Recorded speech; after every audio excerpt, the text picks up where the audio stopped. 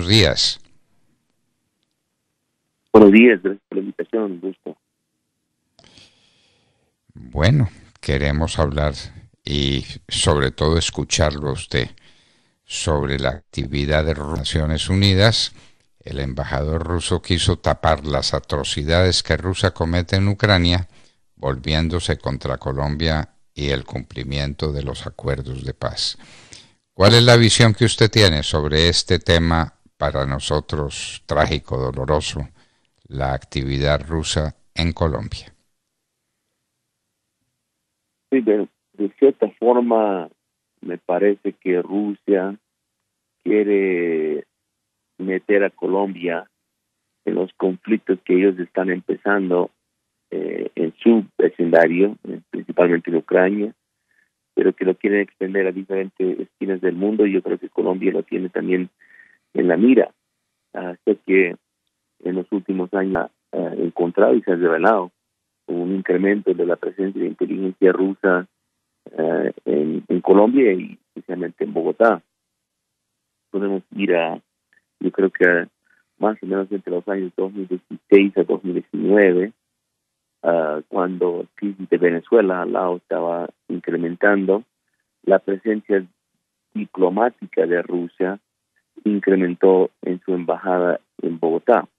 Uh, ahora conocemos de uno, por ejemplo, uno de los uh, agregados militares que, estaba es un coronel Dmitry Tarantsov, un señor que es experto en ciberespionaje, uh, alguien que tiene mucho conocimiento sobre cómo formar redes tanto digitales como presenciales en, el país y, y, este este nivel de espionaje incrementa en Colombia hasta el punto donde si se acuerda en diciembre de 2020 uh, el gobierno de Colombia el gobierno del presidente Duque por primera vez en la historia entre relaciones diplomáticas de, Colombia y Rusia uh, Colombia expulsa a dos, uh, entre comillas, diplomáticos por espionaje. Y eso fue algo muy, un precedente de cierta forma, porque nunca ha pasado antes en esta relación. Uh, supuestamente esos dos diplomáticos estaban haciendo espionaje sobre infraestructura crítica aquí en Colombia. Ahora pasamos al próximo año 2021 y había antes de las protestas, creo que fue una semana antes de las protestas que, que el 28 de abril de año anterior, había un vuelo, un sobrevuelo por un avión de reconocimiento y espionaje de Rusia que pasa por espacio aéreo de Colombia. Ah, y eso nos lleva aquí, a 2022. Y en, este año se ha empezado a revelar muchas cosas, empezando con eh, la presencia de Rusia en, la frontera, en el lado de Venezuela, pero en la frontera usando radares, drones y otras tecnologías militares para hacer más contra Colombia uh, y hasta lo, último que se, se conoció de, un señor, un ciudadano ruso, que está lavando grandes sumos de dinero acá en Colombia con potenciales nexos con la embajada. ¿A qué, a qué va todo esto? Eh, en, el mundo de inteligencia hay un dicho que es la inteligencia prepara operaciones para el futuro. Entonces la pregunta es cuáles son esas operaciones. Entonces, por qué han incrementado tanto su presencia de inteligencia yendo hasta el año 2016 y especialmente el año 2019. Eh, eh, y, creo que de, cierta forma, desafortunadamente creo que lo vamos a conocer con el tiempo, porque parece que Rusia está llegando a ese punto donde no es solo inteligencia, pero están empezando operaciones. Bueno, eh, usted está haciendo una excelente presentación de los últimos acontecimientos que, que ha desencadenado Rusia en Colombia, eh, causándole mucho daño a la estabilidad del país y a la tranquilidad del país. En las Naciones Unidas acusó a Colombia de no estar cumpliendo los llamados acuerdos de paz con las FARC, mm, seguramente para tratar de ocultar el hecho protuberante de los ataques de Rusia a Ucrania y de las inmensas violaciones al derecho internacional humanitario que está ejecutando, que está cometiendo Rusia en ese país. Eh, hay que recordar que en el año de 1948 la embajada rusa, todos, el embajador y todos los funcionarios de la embajada rusa fueron expulsados de Colombia después de que se comprobó su participación en el 9 de abril, la fecha del asesinato de Jorge Eliezer Gaitán por Fidel Castro, guiado por la mano rusa. Tenemos amargos recuerdos de lo que ha sido la participación de Rusia en hechos eh, fundamentales en la vida de Colombia. ¿Qué están tramando ahora? ¿Qué es lo que quieren hacer, eh, don Joseph Humire? ¿Por qué Colombia? ¿Por qué Colombia se vuelve un objetivo para Rusia y para la inteligencia rusa? ¿Usted lo sabe? Bueno, yo podemos eh, tratar de analizar un poco los hechos y claro, no, no se va a saber todo con certeza porque este tipo de injerencia de cierta forma es encubierto estamos hablando de espías, espionaje, inteligencia, y a veces aceptar todos los propósitos, pero lo que sí podemos saber es que eh, la alianza que tiene Rusia y en específico Vladimir Putin con el régimen de Venezuela y en los 20 años, uh, uh, formándose por los últimos 20 años, es algo muy estrecho que tiene prácticamente el mismo propósito que tiene el régimen de Maduro. O sea, es muy difícil que Colombia mantenga una buena relación con Rusia, mientras Rusia mantiene una estrecha estratégica relación con el principal enemigo de Colombia, que es el régimen de Maduro en Venezuela. Eh, me acuerdo cuando el embajador de Rusia aquí en Colombia se reunió con, eh, si no me equivoco, el presidente y la vicepresidenta del ministro de Defensa eh, hace unas semanas, unos meses, unos meses atrás, esto fue antes de la invasión de Ucrania, eh, él les dice, y creo que el presidente que tuve la preocupación de que si todo ese armamento que se ha enviado de Rusia a Venezuela, desde cómo pueden saber que ese armamento no va a llegar a manos de grupos terroristas como las incidencias de las o la ELN, que se orientan con alta presencia en Venezuela. El embajador dice, no, aseguramos que este armamento que nosotros hemos vendido a Venezuela, no, jamás va a llegar a manos de sus grupos irregulares.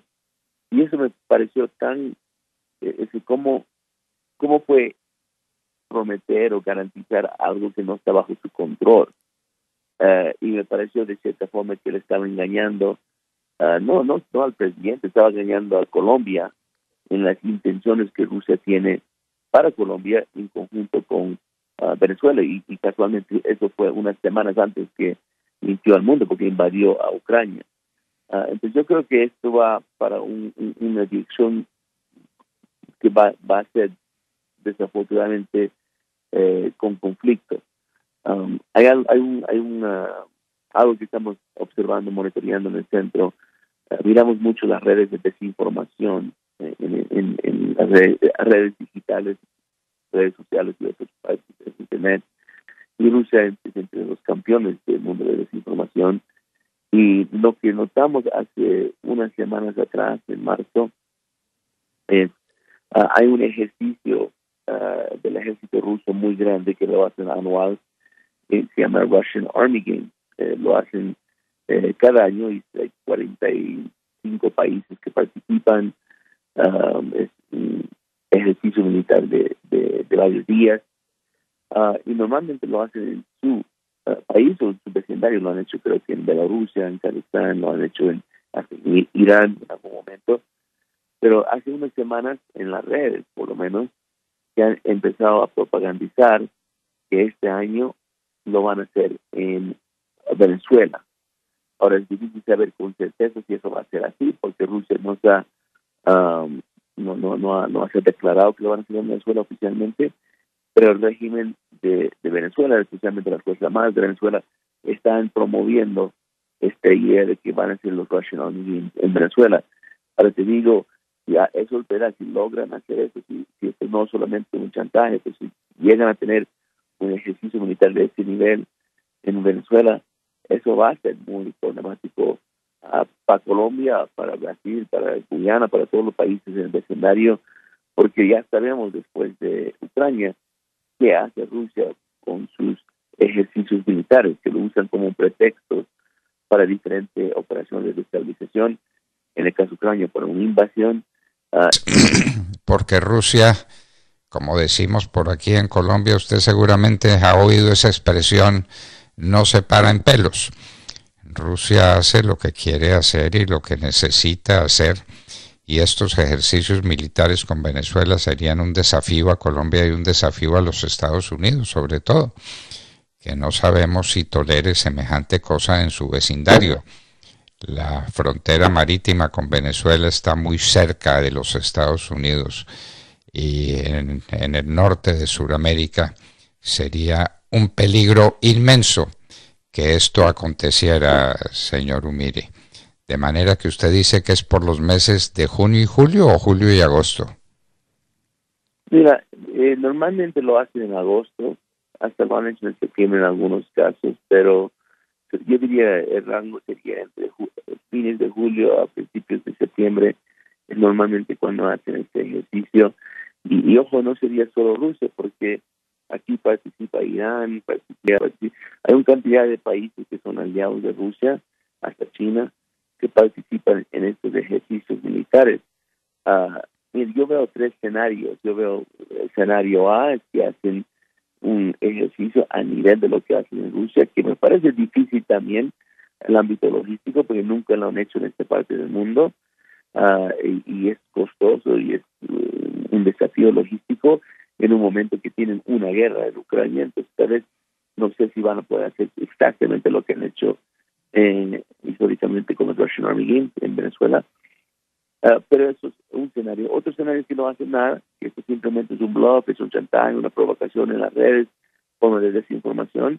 Y yo creo que tenemos que también tener pendiente que muchas veces Rusia no solamente hace estos bluffs, o sea, claro, ellos usan chantajes y provocaciones, pero uh, no tenemos el privilegio de pensar que nunca van a hacer nada, que solo son palabras más o palabras menos, porque han demostrado que están dispuestos a tomar acción.